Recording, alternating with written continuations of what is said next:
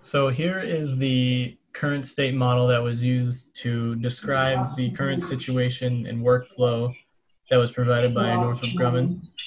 Uh, the issue block right here is where satellites are created. Here's our maximum of 18.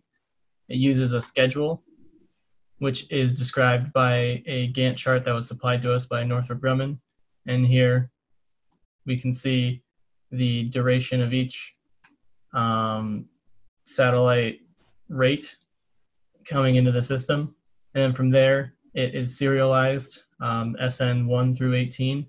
And then it enters the process flow through station 1, which has these tasks in them, through station 2, and down the rest of the line until it's uh, finished at station 8. And then the data is outputted in this uh, record block down here so that we can analyze the data for its statistics.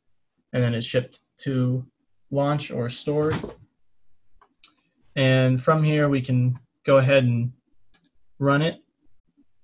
And we can see the satellites moving through the system as they complete, and they all have unique processing times due to randomized um, distributions of numbers. You can see they're queuing in different stations where there's larger bottlenecks, which is one thing that Arena is useful for is visualizing bottlenecks in your process.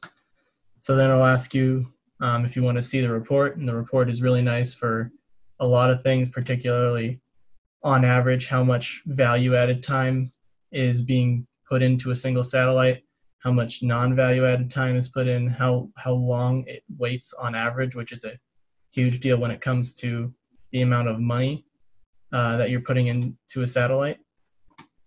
And if you move forward in the report, there's the time it spends in the queue. Um, and what matters the most is this scheduled utilization, where you can see the utilization for each uh, resource that's utilized. So resources can include staff, it can include mechanical and electrical ground support equipment. And so in here, you can see that there's a, there's a smaller utilization uh, number for staff. So that means you can play with your staffing requirements to either increase or decrease that utilization. And 80% is typically a realistic target for utilization. And for instance, if you had a you know a computer test bench and it was being overutilized, you would add a second bench in order to decrease that so that you wouldn't have a bottleneck.